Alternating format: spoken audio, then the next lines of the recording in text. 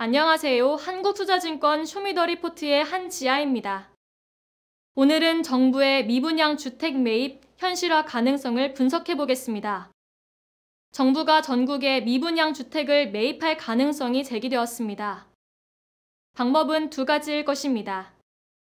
하나는 준공전 미분양 주택을 매입해 시행사 및 시공사 자금 융통을 원활하게 하고 준공 시점에 정부의 미분양 주택 보유분을 시장에 재매각하는 방법입니다.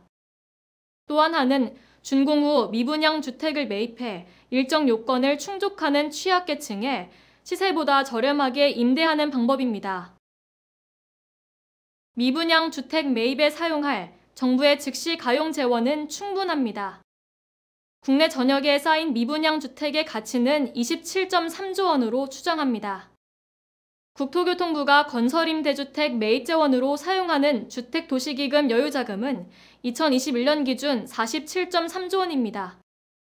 미분양 주택 매입 시 분양가 시세보다 낮은 가격에 매입할 가능성을 감안하면 재원 여유도는 더 늘어날 것입니다.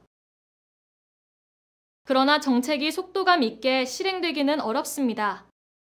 매입할 미분양 주택에 대한 세부 기준을 마련하는데 많은 시간이 소요되기 때문입니다.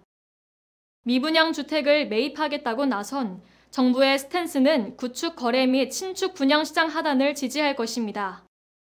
그러나 고금리 환경에서 가계의 주택 수요 반등을 이끌어내는데 상당 시간이 필요합니다. 따라서 주택 사업을 영위하는 종합건설사 단기 반등 재료로 충분하나 장기 추세를 만들기 어려울 것입니다.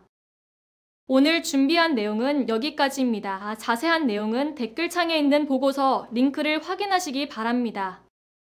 다들 즐거운 하루 되시기 바랍니다. 감사합니다.